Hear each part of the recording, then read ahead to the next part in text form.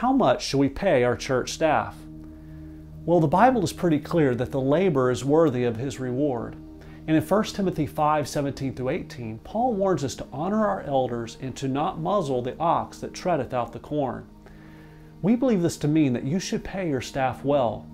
It might be a good idea to look at the community around you or look online and compare the salaries of those who do similar work. I can't tell you exactly what you should pay each person, but I would caution you from paying them too little and would advise you to keep in mind the amount of work you are asking them to do and how many people you're asking them to serve.